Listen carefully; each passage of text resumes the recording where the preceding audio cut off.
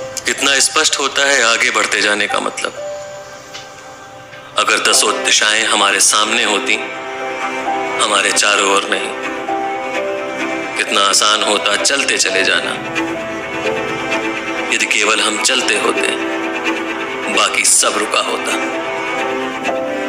मैंने अक्सर इस ऊल जलूल दुनिया को दस सिरों से सोचने और बीस हाथों से पाने की कोशिश में बेहद मुश्किल बना दिया। शुरू शुरू में सब यही चाहते हैं कि सब कुछ शुरू से शुरू लेकिन अंत तक पहुँचते पहुँचते हिम्मत हार जाते हैं। हमें कोई दिलचस्पी नहीं रहती कि वह सब कैसे समाप्त होता है, जो इतनी धूमधाम से शुरू हुआ था हमारे चाहने पर।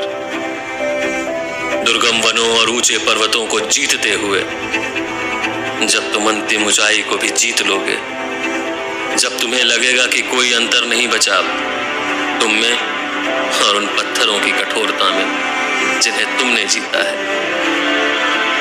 जब तुम अपने मस्तक पर बर्फ़ का पहला तूफ़ान झेलोगे और कांपोगे नहीं, तब तुम पाओगे कि कोई फ़र्क नहीं सब कुछ जीत लेने में और अंत तक हिम्मत न हारने में, अंत तक हिम्मत न हारने